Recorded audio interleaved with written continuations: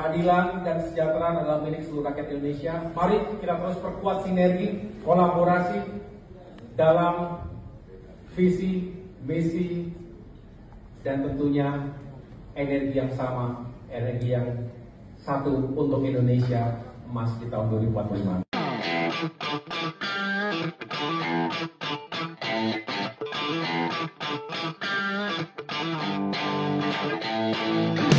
termasuk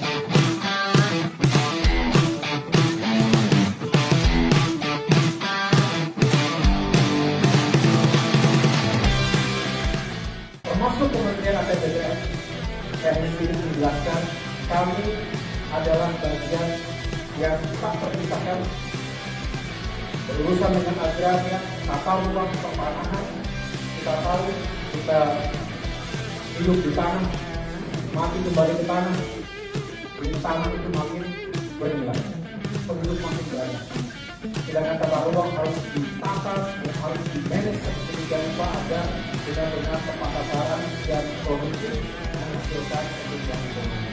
Investasi akan datang jika ada kepastian hukum ini yang kami sedang kerjakan. Mohon doa dari teman-teman dari sekalian. Mudah-mudahan kami bisa terus bekerja dengan baik-baiknya. Sekaligus kalau ada masalah tanah, datanglah ke tempat DPR ini ada di daerah masing-masing.